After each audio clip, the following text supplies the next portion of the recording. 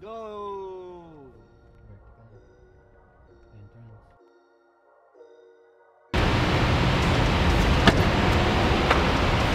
Tara. So guys, nandito tayo sa Chendesitos ngayon. Uh, hintayin natin si Coach Ken kasi dito pag-uusapan namin yung uh, next step namin dahil ang dami na gusto mag-invest. So may mga nakausap na rin kami na sobrang interested. So just waiting na ano, mag-move forward tayo. So yung pag-uusapan natin is yung next, next, mga next steps na kailangan namin gawin ni Coach Ken para mangyari na talaga at uh, pag ma-plancha natin. So ngayon meeting tayo kasama si Dane and uh, to. Guys, kasama na natin si Coach Ken. Finally, makakain na ako. Ba't gutom ka na ba? Gutom na ako ito coach? Ayos ba? Kaso. Kailangan rin gumawa ng vlog eh. Kaso ako busy. Hindi po. Akala ko. Hindi, napalis-post ako. Siya mga parents na dumating na student ko sa January na nagbubuli. Kasi sinabi na sa coach, hindi ka gaya ng ano, last time. Last time wala, wala talaga alam. Hindi ka talaga ng gagawin ko. Guys, kakain kami sa Pancake House. Mag-meeting kami. Ah, sasabihin na namin dito. Ako guys, personally, gusto ko sabihin na dito sa para magkaroon kayo ng idea kung ano ba investment natin dito doon sa tinatayo ni Coach Mav sa ni Coach Ken. Okay, so basically, yun ang malalaman nyo to sa video na to guys. Kasi sobrang dami talaga interested. Sa totoo lang, naguunahan sila. Pero dahil meron lang limit, magkano yung kailangan lang talaga, pag natapos na yun, meron na tayong next na next project natin. Sabihin natin naman. Para hindi na kayo kailangan mag-email sa akin, paano yan, gano'n ganyan. Mag-email na kayo sa akin kung interested talaga kayo. Let's go.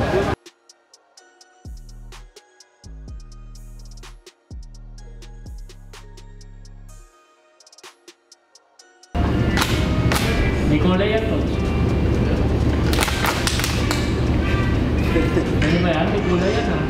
Ayos ba? Hindi tayo eh. Gusto mo? May kulay. Vitamin ano? Kailangan mo yan. Let's go, kailangan mo yan. Matapat ko pa yung positive. Ako yan. Investment sa first. Sige, ah, aralin. Para mas ako. Meron ako mga kaibigan.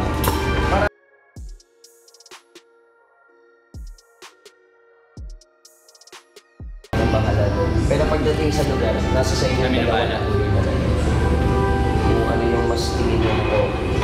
Tapos magkaroon tayo ng ano, ng certain ano, coach, ano bang budget natin dyan? Anong target na amount? Si coach yung makakasagot. Target amount natin. Kailangan natin makulit. Siyempre kasi coach, mura lang siya coach. Ang mahal talaga yung gym. Kung magkano yung flooring mo, pag sobrang pinaganda natin yung gym, ito yung naging experience sa gym. Sobrang pinaganda natin yung gym dahil gusto lang natin yan. Intimidating. Oo. Sa mag-gym. Oo. Yun Dapat hindi masyado. Minsan, parang, Yung gym mo yun. oo, dapat ano lang ako. Kasi pag sobrang ginuhay pa natin ng sobra-sobra na parang Huwag yung gawin yung mga Android yung mga kapasok. tataas yung ano natin, yung gastos. Costing. Oo. Then tsaka yung mga... Maintenance din. Mga maintenance. yung mga customer na mababa yung self-esteem. Hindi sila... Hindi nila susubukin. Kasi may, may intimidate sila. Okay, so guys, tapos na kami mag-meeting nila Coach Ken and um, napag-usapan namin yung mga next steps namin. So, kaya isang dahilan kung ba't gustong gusto talaga namin gawin to is, of course, makatulong tayo sa community mo, especially ngayong pandemic, di ba Coach? Oo. Siyempre makapagbigay tayo ng work, unang-una sa lahat. And marami tayong pwedeng gawin doon, like we, we can also have uh, scholars ng gym na yon Kasi sa gym mo coach, parang meron kang ano eh, yung nakalaro natin last time. Oo. Basketball. Parang ano eh, um, libre siya doon, nag-workout, ganyan. Kasi nakitaan ni Coach Ken ng Sobrang ah, sipag eh. sobrang sipag, yung ugali, attitude. So, syempre, itong ah, gagawin namin ni Coach Ken to give back is, of course, we can open scholarship program din para dun sa mga ah, into fitness, into basketball. So, meron na silang paggagamitan na facility. So, ah, isa yun sa mga nagbibigay sa amin ng drive talaga para ituloy ito.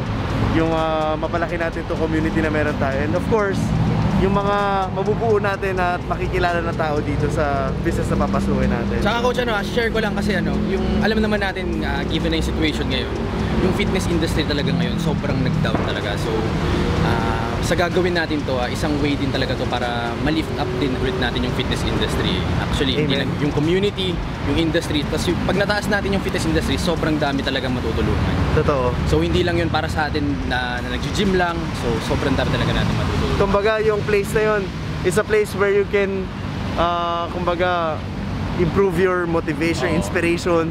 Hindi lang siya lugar kung saan pwede ka mag-workout, pero yung inner self mo, mo especially sa ganitong panahon, nawawala ng pag-asa, yung maki- makita mo na yung mga tao na nandun sa lugar na yun, nag-workout, yung consistency sa ginagawa nila, alam ko makakatulong yun pagdating sa mentality ng mga tao na naapektuhan ngayon to give hope of course. So Coach Ken, ang next step natin is maghanap tayo ng Oo, warehouse. warehouse. Yan.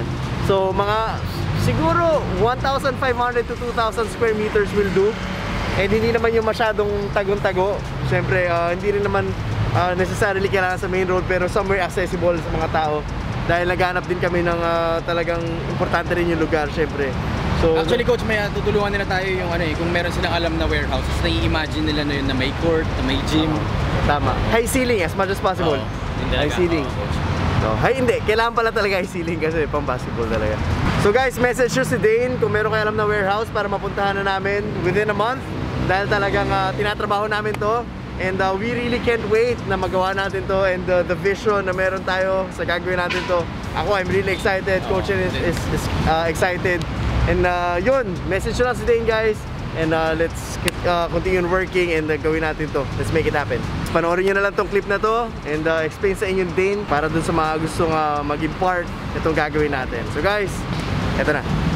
Guys, What's up? Uh, sorry, I'm just using my phone right now. But um, as we, as you guys were watching earlier, sabi nga na i-discuss ko kung ano yung investment na sinasabi ni Coach Matt regarding the Kakasayan X Fino gym natin na mangyayari. So anyway guys, we are open for investors. Um, meaning uh, you you can invest for a certain period period of time then you will get your ROI meaning uh, your return of investment after 36 months. Meron siyang category so parang yung minimum natin right now is 3 million 5 million and 10 million.